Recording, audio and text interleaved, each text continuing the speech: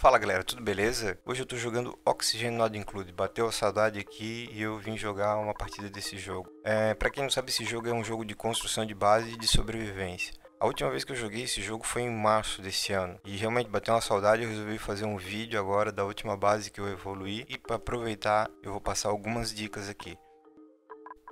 Tem uma coisa legal de fazer no banheiro com fornecimento da água, que dá, é, dá para fazer um loop entre o filtro e o abastecimento de água do banheiro. Dessa forma não precisa fornecer água nova no banheiro porque o banheiro produz muito mais água suja do que ele recebe limpa. Então vai ter excesso de água suja. Dá para utilizar esse excesso de água suja na irrigação da planta caniço, do pinheiro, da pimenta e ele sempre vai manter o banheiro com água limpa. Então é bem legal fazer esse looping, ajuda muito.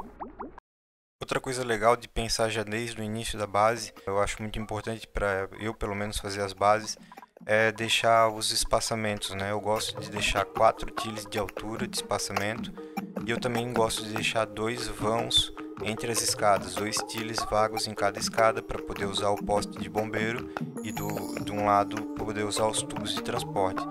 Eu também gosto de deixar quatro tiles, né, é, depois desse vão até a próxima construção, a próxima porta, a próxima sala, porque ali eu gosto de deixar a plataforma de lançamento para os tubos de transporte e deixar alguma decoração, enfim, sempre preciso desse espaço, é bom já reservar desde o começo da base. Outra coisa legal de aproveitar no começo do jogo é a forma de armazenar alimento.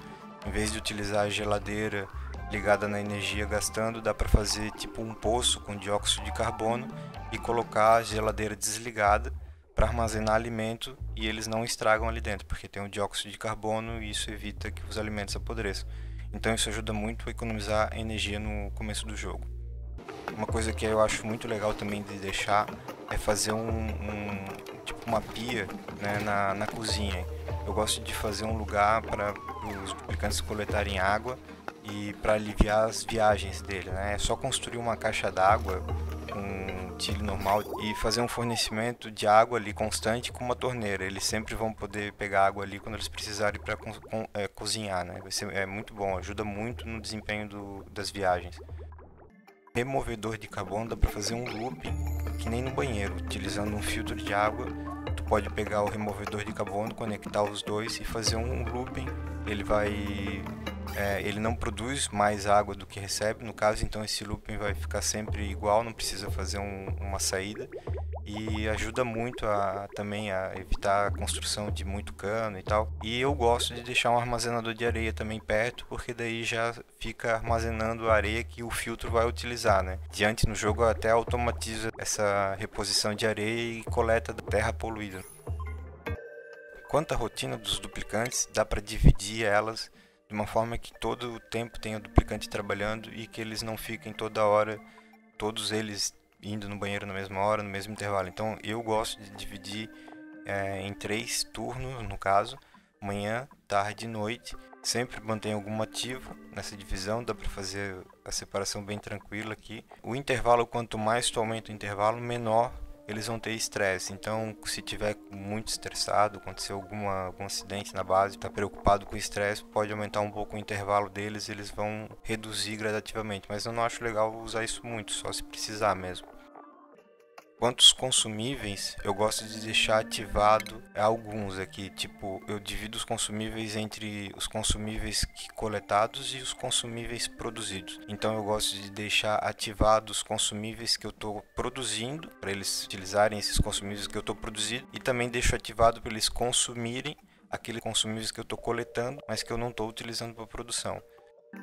Bom, aqui é a usina de oxigênio, que é essencial para o jogo. Um projeto muito legal, autossuficiente, ela produz a própria energia que ela utiliza e produz hidrogênio oxigênio que eu utilizo também para minha base.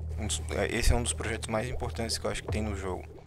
Agora aqui eu tenho a indústria, a indústria é onde eu vou fazer todos os meus materiais, fabricar aço, fabricar cobre, ouro, tungstênio, enfim, fabricar cerâmica, é tudo aqui né, nessa, nessa localização da indústria.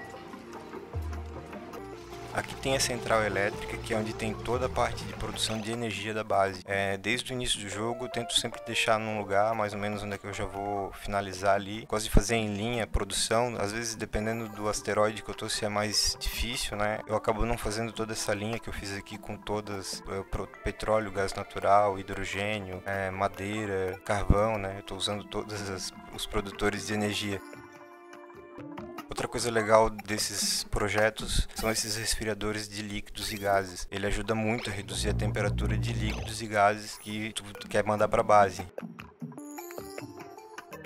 todos esses projetos autossuficientes eu aprendi no canal do Francis John. Esse cara ele é muito bom, ele é tipo especialista nos projetos de sistema, das paradas foda desse jogo e tudo mais, sabe? Ele realmente é um cara incrível aí para fazer esses projetos autossuficientes e foi o que me animou a continuar jogando o jogo, foi justamente ver, ver esses projetos e eu consegui reproduzir no olho mesmo. Eu não uso blueprint, eu nem sei como habilitar ali a blueprint, mas foi fazendo no olho, conferindo nos canais deles esses projetos e vale a pena mesmo. Vão lá dar uma conferida porque tem muito material para Oxygen Include lá. Às vezes uma coisa que eu não me interessei vai ajudar vocês, é bom sempre compartilhar esse tipo de conhecimento.